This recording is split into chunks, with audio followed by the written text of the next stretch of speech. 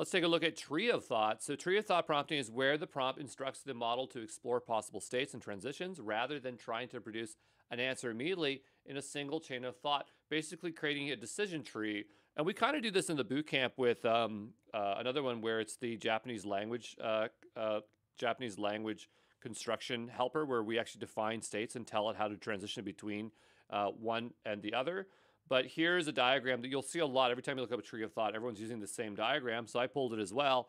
And so here you see on A, you have input output prompting. So that's just where you give it an input and you get an output like zero or few shot. Chain of thought prompting, where we will tell it to um, uh, think about things through it. Then we have self consistency with uh, chain of thought and, and, uh, uh and self consistency.